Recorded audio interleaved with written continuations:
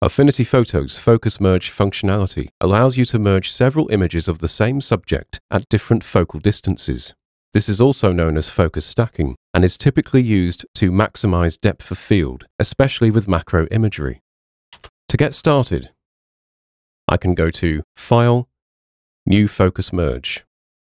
I'll click Add, then I'll go into the Toadstool folder here, select all my images, and click Open to add them to the file list.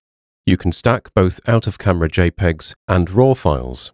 If you are using RAW files, however, I would recommend developing them first to a lossless format such as TIFF in order to control the development process, as you may want to recover highlights, alter the black point, and modify other settings beforehand. I'll click OK to begin merging. Affinity Photo will take the set of images through three distinct processes. First, the images are all aligned. Then a depth map is created to guide the merging. And finally, the most detailed areas of each image are merged together. The final result is an image where the subject has front-to-back sharpness. From here, you can employ standard editing techniques to complete the image edit. Something I might do is non-destructive dodging and burning to really bring out the subject from the background. I'll create a new pixel layer, set its blend mode to overlay, and its opacity to 30%. Then I'll select the paintbrush tool, and on the brushes panel, I'll switch to the masking category and pick a large, soft round brush. As I'm set to a black color by default, I'll paint around the toadstool to darken these areas. Then I'll use X to switch my color to white and paint into the toadstool to brighten it. If I just move back to the Layers panel and hide this pixel layer to reveal the initial result, you will see that this is a quick and effective way of shaping lighting in your image and promoting focus on the main subject.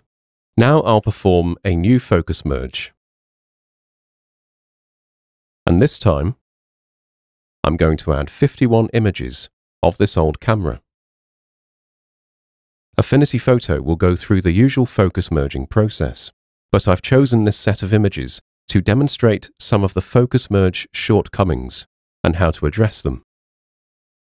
You'll notice that when the focus merge completes, the Clone Brush tool will automatically be selected, and the Sources panel is shown, populated with all the images used to create the final result. This allows us to go in and manually clone areas from specific source images, which we will need to do for this example, focus merging can struggle with specular highlight areas, especially if they do not contain fine detail. If I select the first image on the Sources panel, then click the eye icon here, this will isolate the chosen image. So I can go through and find an image where this area here is sharp. Here we go. So I will toggle the eye icon again. And on my brush settings, just make sure I have hardness set to 0%.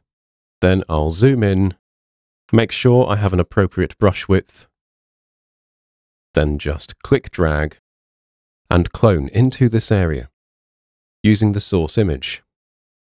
Now looking along the top of the image, I'll find another area over here that needs to be addressed toggling through my source images, this image looks like a good candidate for cloning here. So I'll toggle back to the main image again, then just clone into this area here. There are some specular areas over here as well that I can tidy up. So there is the brass screw here with an intense specular highlight reflection. I'll look through my source images. And this one here will suffice.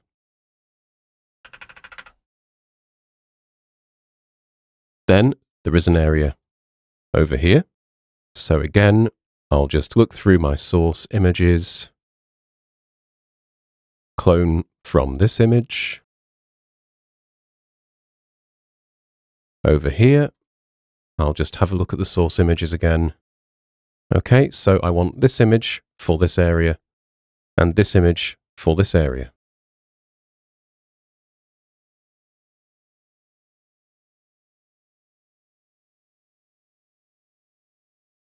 Then finally, going through my source images again,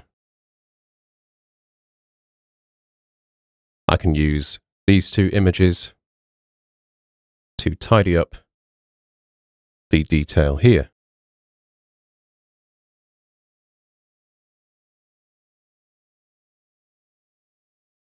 I can then switch to the View tool using H, which will prevent me from accidentally brushing over any other areas, and will let me click drag to move around and examine my retouching work.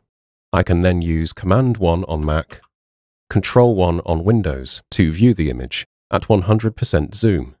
When focus merging macro imagery, dust and other small details can become quite prominent.